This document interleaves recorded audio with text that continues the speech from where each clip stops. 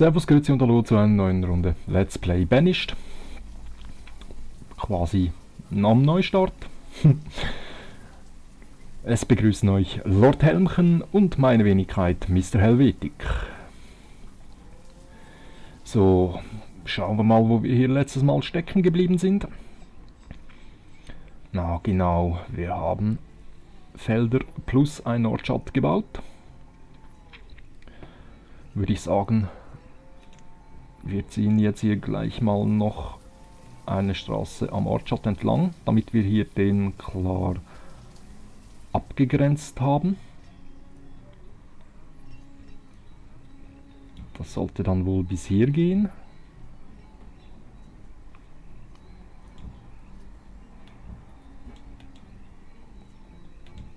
Ja, das scheint wohl zu passen.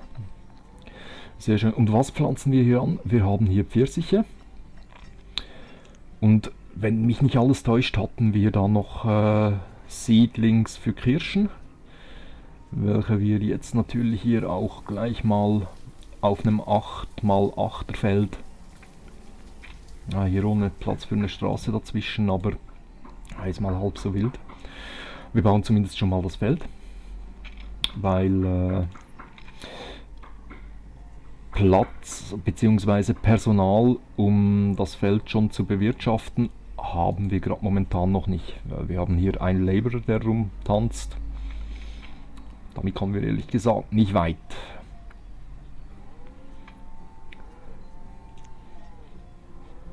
Wird also Zeit, äh, dass hier dann wieder ein paar Kinder erwachsen werden. Damit wir hier äh, ein bisschen flexibler sind, was das Ganze angeht.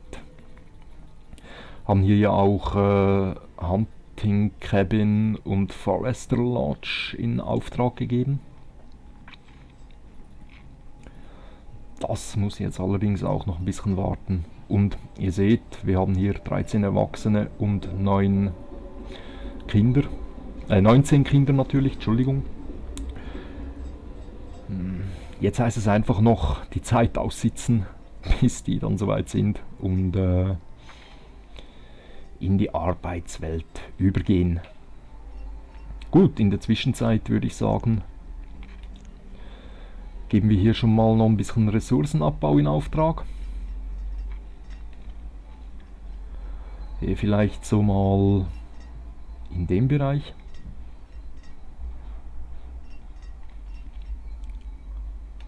Und hier werden wir dann zusätzlich noch, ah, das haben wir eh schon alles abgegrast, sehe ich gerade. Machen wir jetzt aber ein bisschen weitflächiger.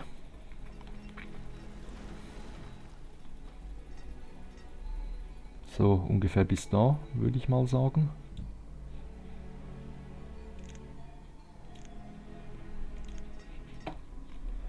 Hier natürlich auch noch äh, Pilze, Kräuter und Beeren. Das machen wir alles noch ein bisschen weitflächiger. So, in dem Bereich sollte eigentlich gut sein. Da haben wir nämlich eine ganz gute Ausbeute. So. Und jetzt heißt es halt einfach warten, warten, warten. Nur die Harten kommen in den Garten. Wir geben mal unsere A. Wir haben schon einen zweiten, das ist ja sehr gut. Hier beschäftigen wir einen. Aber ich würde sagen, wir warten mal noch ein Stück. Oder... Nein, wisst ihr was? Wir riskieren sie jetzt einfach mal. Bauen hier Kirschen an, werden einen zuweisen und geben hier einen sechsten Arbeiter frei. Hier haben wir noch Platz. Hier ist auch erst zu 7% ausgelastet. Also sieht eigentlich relativ gut aus. Ja, soweit so gut.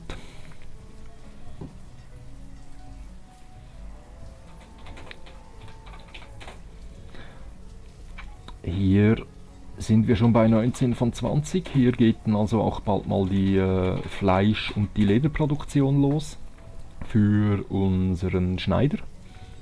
Wird auch Zeit, unsere Klamotten sind ausgegangen. Ich würde sagen, ich lasse jetzt hier einfach mal ein bisschen äh, auf höchster Geschwindigkeit laufen, das Ganze.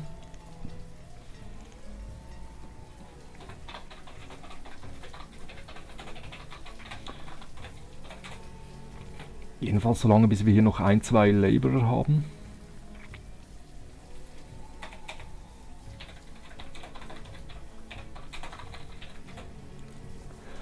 Hier auf den Feldern geht's los. Die Pfirsiche, die dauern jetzt natürlich noch ein klein wenig, bis die soweit sind, äh, dass sie erntbar sind. Die Kirschen dasselbe. Aber unsere Bohnen, schon 56% Ertrag die Paprikas auch schon bei 26, 27. Das ist doch mal gut. Und es wird Zeit, unsere Lebensmittel sind nämlich auch bereits ausgegangen. Fischproduktion letztes äh, Jahr auf 1000, knapp 1050. Und hier geht es jetzt los. Wir haben 20 von 20. Das heißt, äh, es dürfte dann hier auch bald mal ein bisschen Fleisch geben und natürlich Leder. Schauen wir später mal noch rein. Ertrag bei 96, 97, 98 und die Ernte geht los. Sehr schön. Wie steht es hier? 70% Hier haben wir letztes Jahr 596 produziert. Und es ist ja immer noch früh Sommer, also das sollte eigentlich auch ganz gut hinhauen. Dann ganz sicher mit den Bohnen. Da sehe ich jetzt soweit kein Problem. Aber theoretisch müsste es auch mit den Paprikas klappen. So, Lebensmittelvorrat wird langsam aber sicher wieder ein bisschen aufgestockt.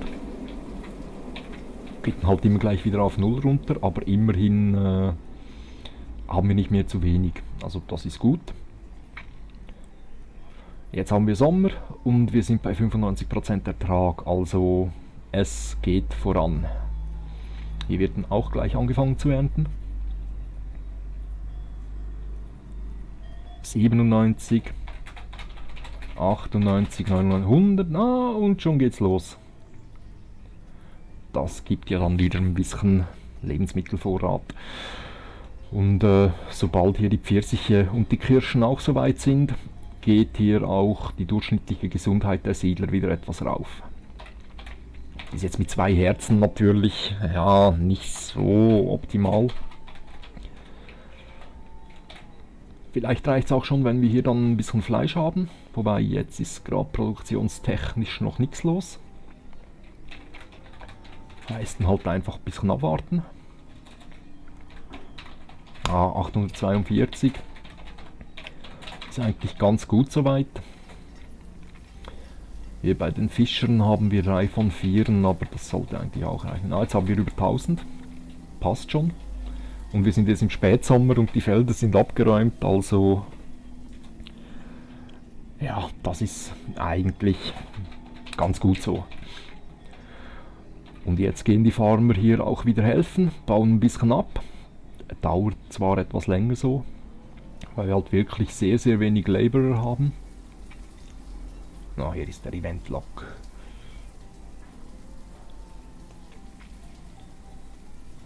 Aber auch das bringen wir hin. Und hier werden Laufenkinder geboren. Aber die wollen einfach nicht erwachsen werden. Naja, wir kennen es von früher. Gut. Aber soweit passt das jetzt erstmal.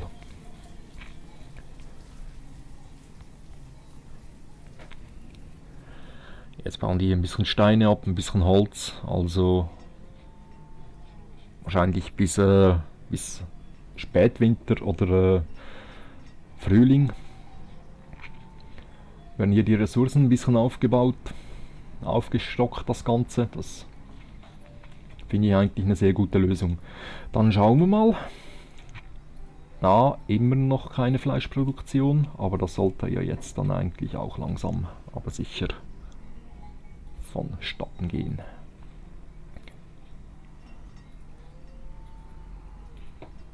Oh, wir schauen hier mal bei dem Medieval uh, Services. Eben hier haben wir eine Apotheke. Wir haben die Bücherei, wir haben einen Friseur, wir haben den Zahnarzt, wir haben das Schwimmbad. Eventuell hier.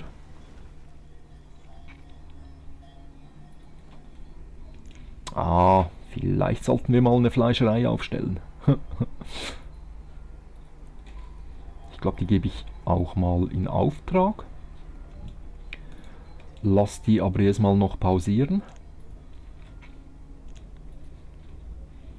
Weil äh, mir wäre es natürlich lieber, unsere Leutchens würden sich hier erstmal um, äh, um so Sachen kümmern wie hier äh, die, den Förster und äh, die Jagdhütte.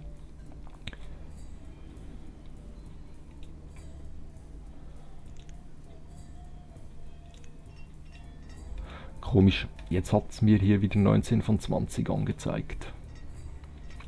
Naja, wir schauen einfach mal. Ich hoffe jetzt einfach, äh, die kümmern sich hier wirklich um die zwei Gebäude.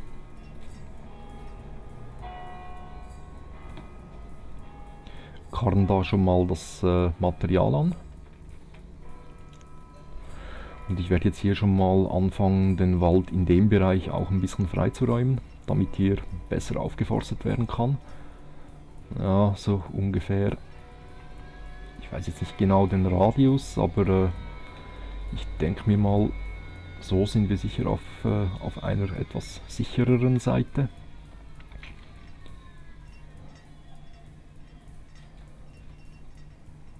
Noch ein bisschen rauf, ungefähr bis so. Und natürlich hier oben, das können die dann auch gleich freiräumen. So. Sollte passen.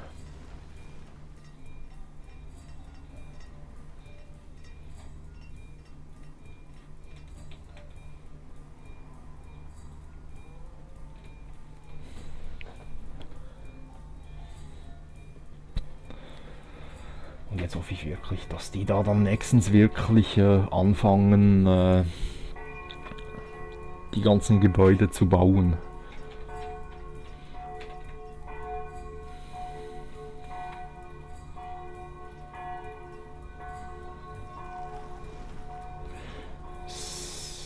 So. Uns fehlen halt immer noch ein paar Laborer.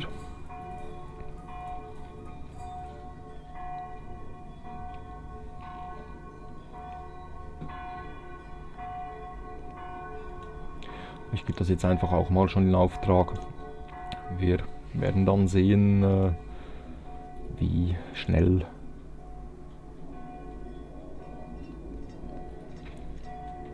da Spätwinter.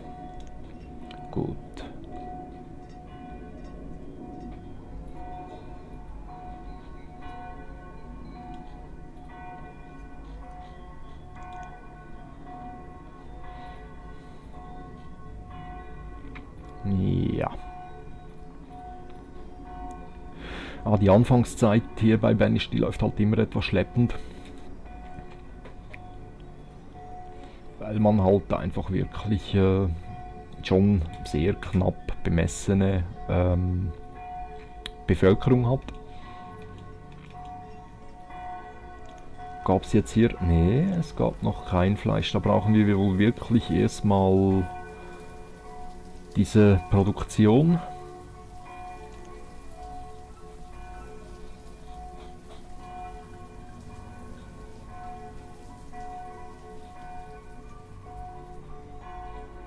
Ah, wir haben jetzt auch eine Bäckerei, wie schon gesagt, und halt äh, die Hunter Cabin.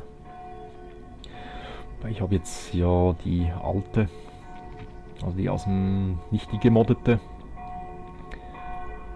ich hoffe jetzt mal, die wird dann auch ein bisschen was produzieren. Ah, jetzt geht's los. Jetzt haben wir hier auch Fleischproduktion. Ihr seht 400 plus 9 mal Leder. Das heißt, äh, jetzt geht hier die Luzi ab. Jetzt gibt es ein bisschen äh, Abwechslung auf dem Speiseplan unserer Siedler. Genau so muss das sein.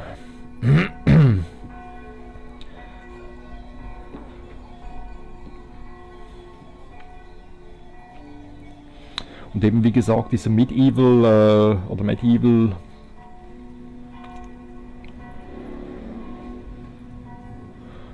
Äh, Mod, den hatte ich ja im letzten Spiel nicht mit bei und dadurch äh, wird sich jetzt sicher auch noch ein bisschen Abwechslung äh, in die ganze Sache einbringen, weil äh, hier, ihr seht schon, wir haben hier doch einiges an Abwechslung auch in den Gebäuden. Ebenso hier. Mehrstöckige Häuser und halt ebenso Sachen wie Badeanstalt. Äh, wir können uns das ja mal angucken. Wo wir denn die eventuell platzieren könnten. Vielleicht irgendwo hier oben.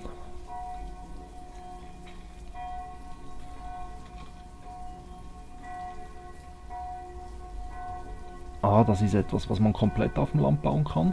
Wusste ich nicht. Vielleicht irgendwie etwas, was wir hier so ein bisschen an den Berg angelehnt, hier so an den Hügel.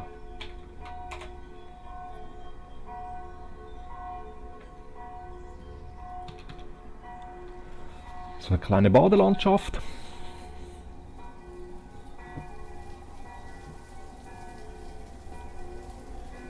Aber äh, damit warten wir natürlich noch ein wenig.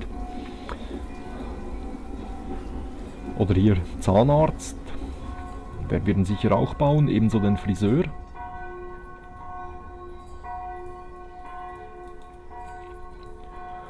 Ah, es gibt doch einiges, äh, was wir denn hier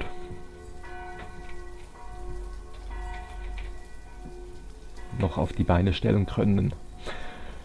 So, jetzt muss ich aber ehrlich gesagt zugeben, ich habe äh, vergessen den Timer einzuschalten, habe jetzt keine Ahnung, wie lange wir schon aufnehmen. Ich mache jetzt einfach mal noch ein paar Minuten in der Hoffnung, dass dann vielleicht der ein oder andere Labor noch dazu kommt.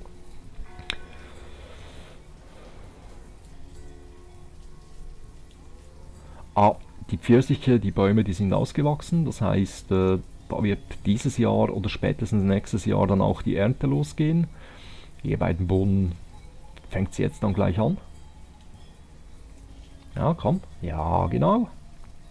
Was haben wir da letztes Jahr gemacht? Knapp 700. Nicht schlecht. Und wir haben immer noch 720 äh, Lebensmittel auf Lager. Nicht schlecht. Und hier Paprika genau 700. Das ist gut. Damit kann man arbeiten.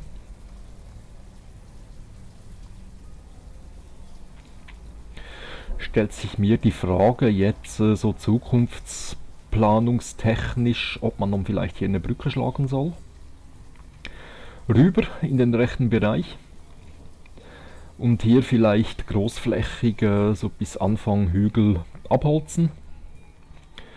Und dann die Stadt hier drüben ausbauen und dann vielleicht unten, so wie wir es im äh, letzten Let's Play gemacht haben, noch Felder.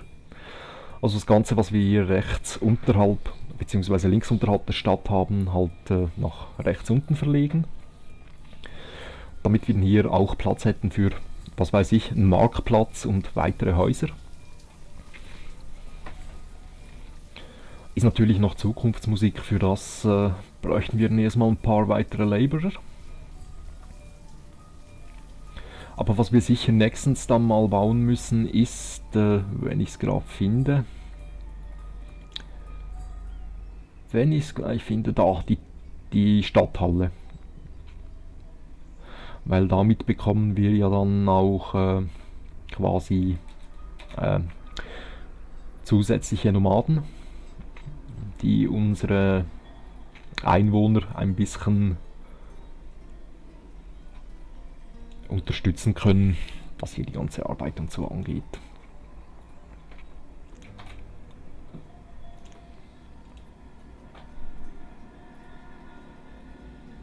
Ja, hier geht es wahrscheinlich wirklich nächstes Jahr los mit dem Ernten. Aber immerhin, dann haben wir ab nächstem Jahr auch Pfirsiche. Wir schauen mal, wie es hier mit der Produktion ging. 18 Leder und 800 Rindfleisch. Nicht schlecht.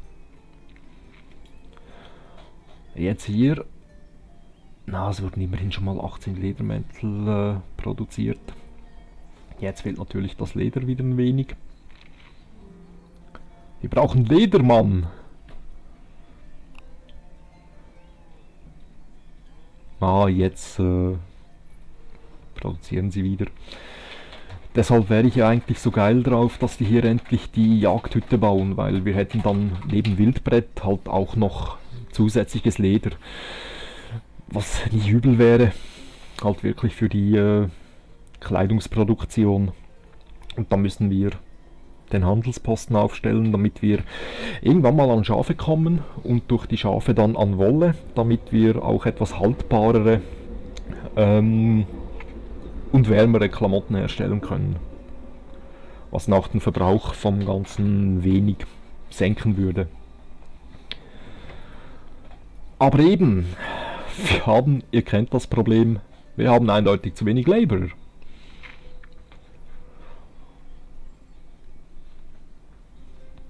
Die haben hier jetzt schon äh, ganz gut was wegräumen können.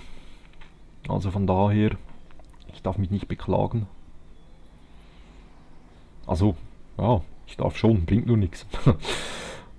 Aber es läuft auf jeden Fall, kann man wirklich nichts sagen. So, und die Pfirsiche werden angefangen zu ernten. Das finde ich persönlich positiv. Bin mir jetzt nicht sicher, ob Pfirsiche ein- oder zweimal im Jahr geerntet werden oder ob die dann einfach im Herbst jeweils. Wäre mir natürlich auch recht. Weil wir können jetzt langsam anfangen, hier ein bisschen Vorrat aufzubauen. Sicher nicht das Verkehrteste.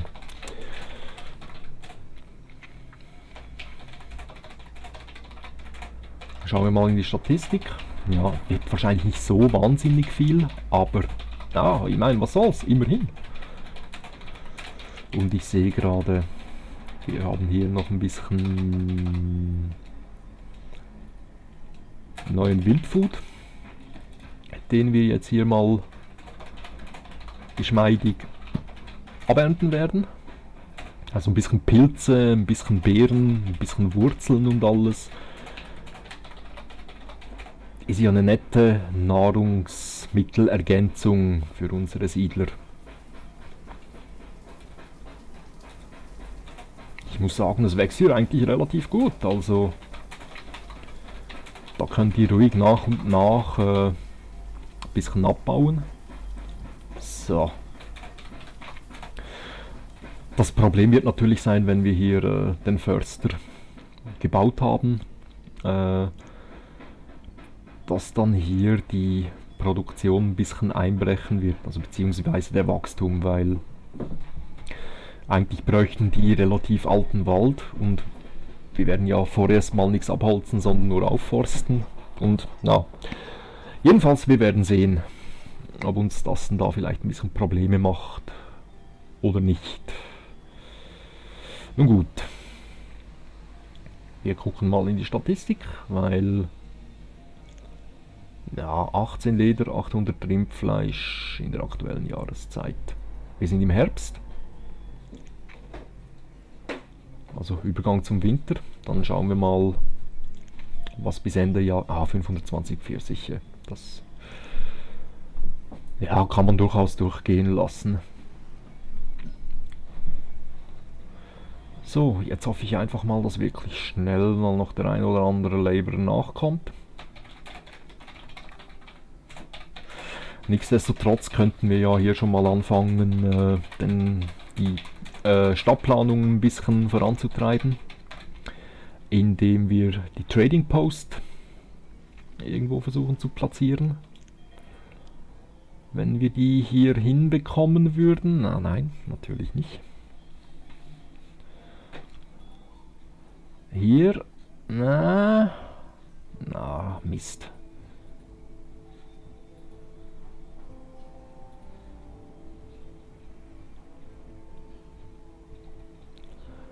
Ist jetzt natürlich suboptimal geplant, muss ich zugeben. Wobei hier würde es gehen. Ja. Maximal so. Aber äh, ist eigentlich egal. Stellen wir schon mal auf und pausieren es aber vorerst. Dann kann man hier, wenn wir die Felder verlegt haben, halt effektiv Häuser bis hierher runterziehen und dann äh, mit ein paar Lagern das Ganze ein bisschen ergänzen. Aber das sieht soweit gut aus. Was ist hier eingelagert? 439 Bohnen, 35 Fisch, 501 Paprika, 44 Zwiebeln, 36 Rindfleisch, 155 Kräuter, 486 Pfirsiche. Ja.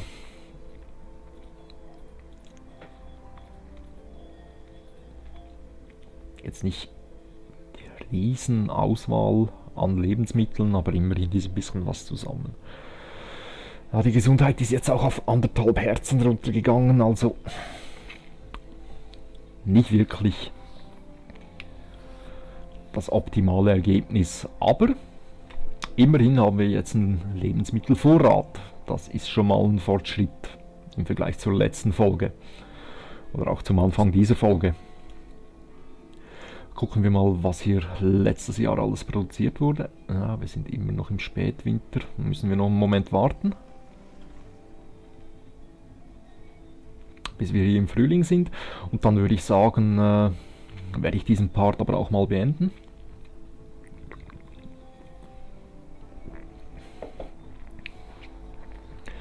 Dann werden wir ja sehen, äh, wie das mit dem Zeitgefühl ist. Ob ich da gut liege oder ob ich jetzt extrem viel überzogen, überzogen habe oder halt extrem viel unterzogen. Überzogen, ja. Ja, wir werden sehen.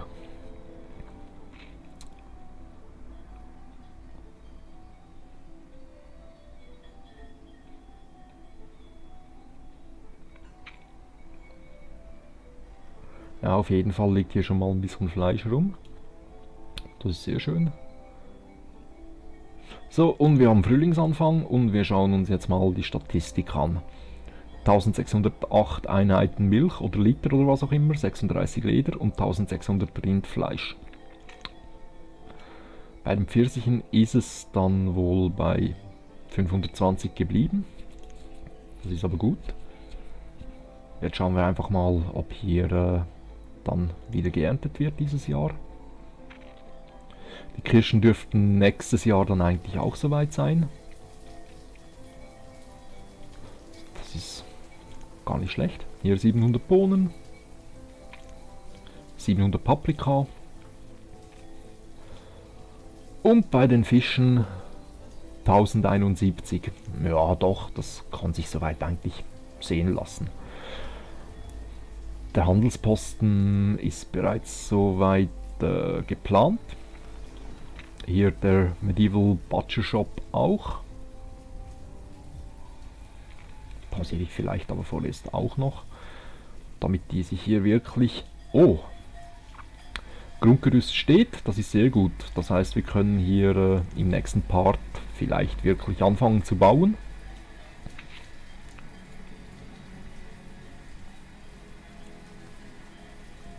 Ja, doch, das sieht gut aus. Das sieht vielversprechend aus. Und fühlt sich auch so an, als ob wir hier äh, mehr oder weniger einen guten Start hinlegen konnten. So, dann äh, würde ich sagen, das war's für diesen Part. Und ihr kennt's ja, über einen Daumen hoch, einen Kommentar, ein Abo für den Kanal würden wir uns sehr freuen. Bis dahin verabschieden sich Lord Helmchen und meine Wenigkeit. Mr. Helvetik von euch und ich sage mal Tschüss zusammen, bis zum nächsten Mal. See you!